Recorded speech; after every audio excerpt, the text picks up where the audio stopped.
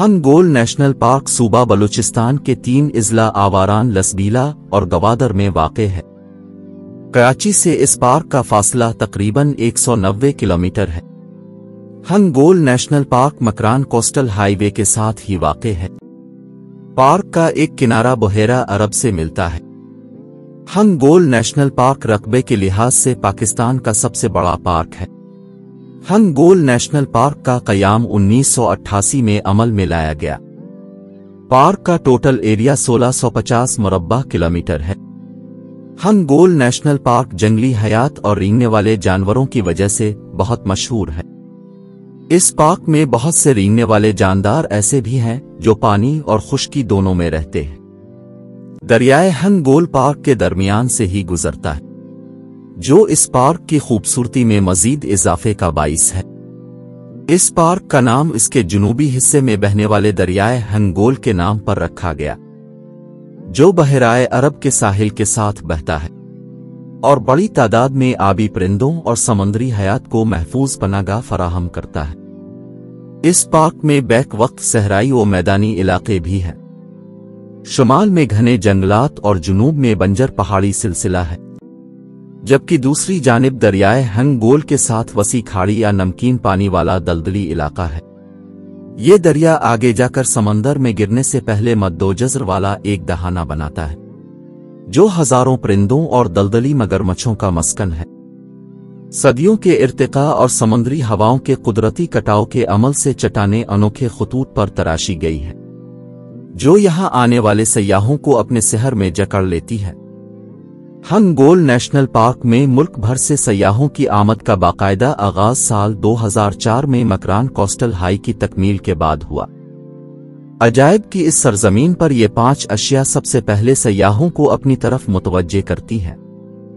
Hingol national park की हदूद में मौजूद पहाड़ी सिलसिले और उनमें मौजूद बेशुमार गार पाकिस्तान के किसी और नेशनल पार्क में मौजूद नहीं है, जो कि इस पार्क को दूसरों से मुमताज़ करते हैं।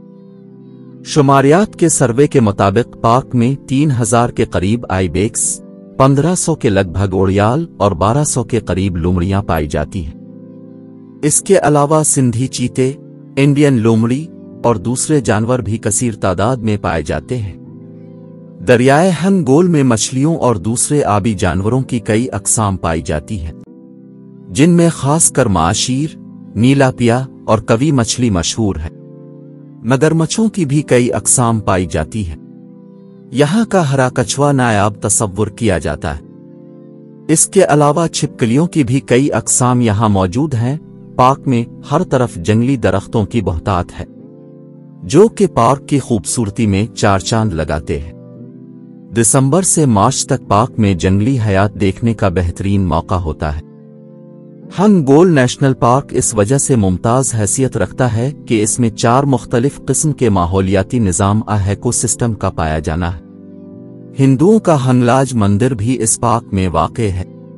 अफराद का अमला जो गेम वाचर, रेंजर्स और मैनेजर पर मुश्तमिल है, इस पार्क की निगरानी करते हैं। इस पार्क को चलाने के लिए तीन हिस्सों में तकसीम किया गया है।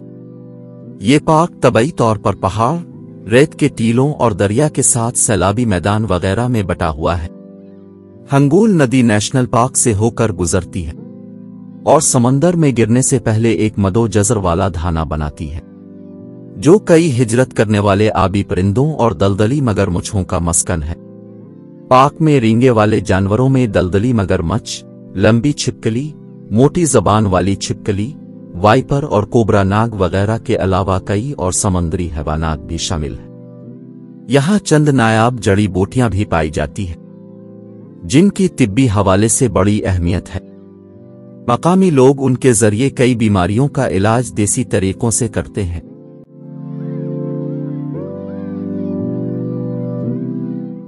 वीडियो को लाइक और शेयर करें और चैनल को सब्सक्राइब करें।